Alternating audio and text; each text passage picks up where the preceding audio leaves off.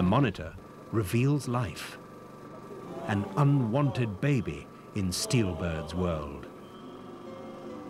An innocent creature who may one day resemble his father. A vagabond, easily provoked and dangerous, known by Steelbird as a problem animal. A rogue who fears nothing and hates Steelbird.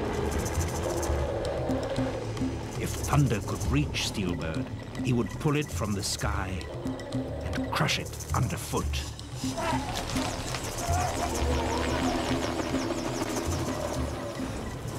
Experience through their eyes the great bird of steel, the thing from man's world that hunts from the sky.